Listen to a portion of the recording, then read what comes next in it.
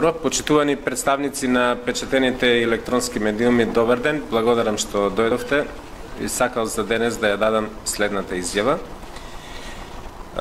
Безрезервно ја поддржувам изјавата на председателот на владата господинот Зоран Заев за поништување на одлуката за поддршка на проекти од национален интерес по културата што беше објавена пред неколку дена. Сметам дека најавата на министерот за култура господинот Асаф Адеми за преиспитување и анализирање само на одбиените проекти не е доволна. Сметам дека треба да се направи темелно преиспитување за начинот на распределбата на средствата. Сега ќе се фокусирам на Велес. Велес како еден од стожерите на македонската култура помина многу лошо во распределбата на средствата за проекти од национален интерес во културата од страна на Министерството за култура. Со сиот почит кон членовите на комисиите, кои вложиле многу труд при распределбата на средствата, сакам да го потенцирам следното. Особено сум разочаран од фактот што рациновите средби кои беа и мора и понатаму да бидат една од трите врвни културни манифестации во Република Македонија заедно со Струшките вечери на поезијата и Охридско културно лето, оваа година добија само 105.000 денари. Сите знаат дека рациновите средби ги организираме во чест на Рацин, најголемиот меѓу живите и мртвите како што би рекол Гане Тодоровски златоусти поети, најголемиот македонски поет на сите времиња, нашиот најголем знак за препознавање, еден од основоположниците на современата македонска литература и еден од двајцата македонски поети кои се дел од Златната библиотека на УНЕСКО.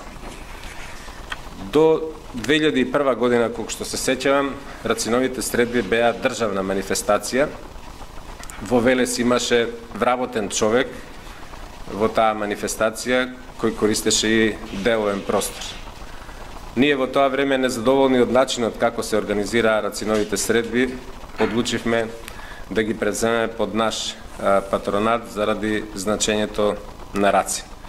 Оваа година нашите амбиции се заедно со Друштвото на писатели на Македонија, Советот за македонски јазик при владата на Република Македонија и Институтот за македонски јазик Крсте Мисирков да направиме рациновите средби да бидат е, реномирана меѓународна културна поетска манифестација.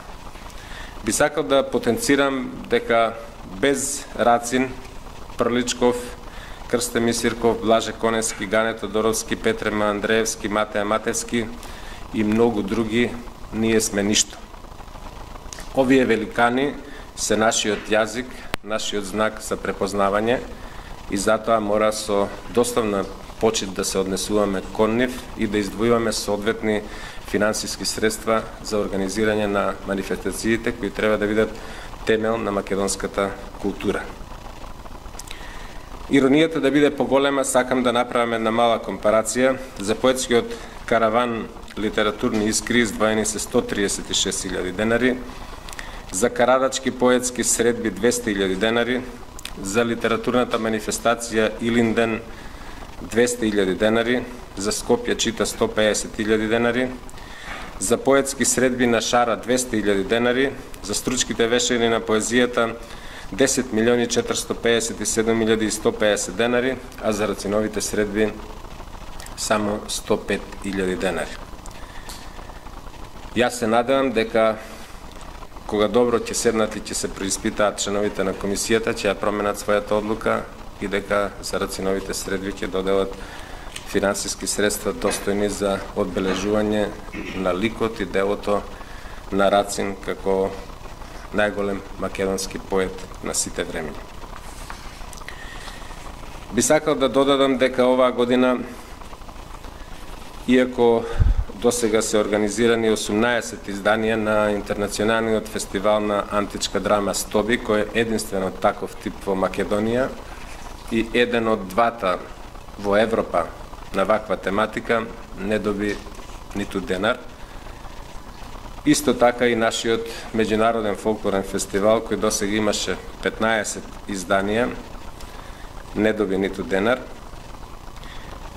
Како што не доби ниту денар и меѓународниот салон на стрип, кој е единствена традиционална е, манифестација од овој тип во Република Македонија.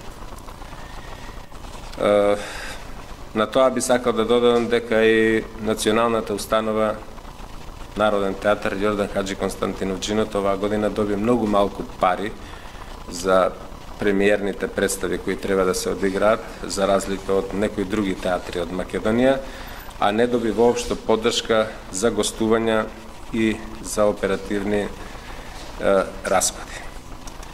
Упатувам апел до комисијата комисиите при Министерството за култура добро да внимаваат и да проценат што е национален интерес во културата и што ќе поддржуваат во наредниот период, за да не се доведеме во ситуација некоја манифестација организирана од друштво со ограничена одговорност на едно лице со име Fashion and Lifestyle Expo да добие 380.000 денари, а рациновите средби само 105.000 денари. Ви благодарам.